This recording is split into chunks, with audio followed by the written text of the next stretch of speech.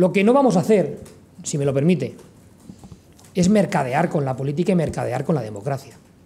Oiga, ayer yo escucho a dirigentes del Partido Socialista y me provoca vergüenza esto, ¿eh? porque me parece una falta de respeto a la democracia terrible. Mercadear con el reparto. Para ti esta ciudad, para mí esta otra ciudad. Esto esto es mucho más serio.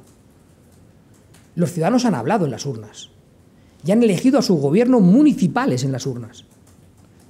Han abierto opciones de cambio donde los ciudadanos consideraban que la opción de cambio era positiva. Han afianzado gobiernos de uno y otro color, ¿eh? donde consideraban que era la opción que tenía que ser.